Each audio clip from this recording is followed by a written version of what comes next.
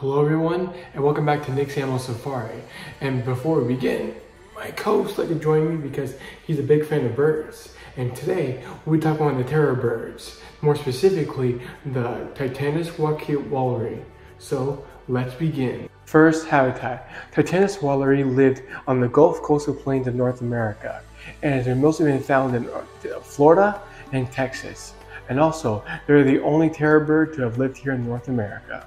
Second, diet. This bird was a carnivore, primarily feeding on large and medium-sized mammals, but also fed on rodents, smaller mammals, reptiles, and one of the most famous prey sources was horses. So it definitely shows the animal was not a picky eater. Third, size.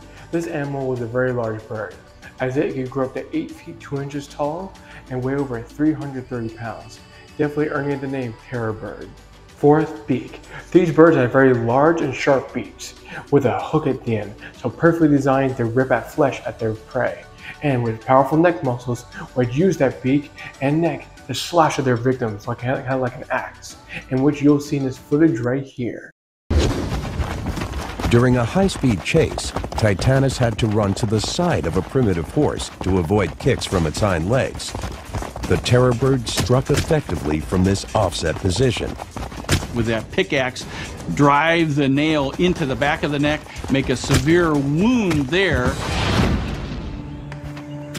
Did you know, despite their large size, these guys can run pretty fast. They can run up to 40 miles an hour. That's as fast as ostriches. So definitely showing that you, this will not be an easy animal to run away from. So thank you guys again for watching. Please like and subscribe. And before we go, my co-host would like all of you to ask him what you love most about this animal in the comments down below. So, bye, and we'll see you guys again real soon.